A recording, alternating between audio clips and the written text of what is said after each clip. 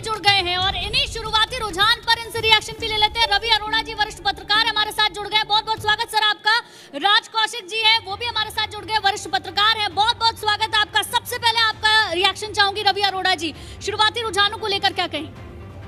अभी तो बहुत जल्दबाजी होगी कर कुछ भी कहें हम तो लेकिन जिस तरह से दिखाई दे रहा है शुरुआती ये पाँच सात मिनट का जो भी निकल कर आया है रिज़ल्ट।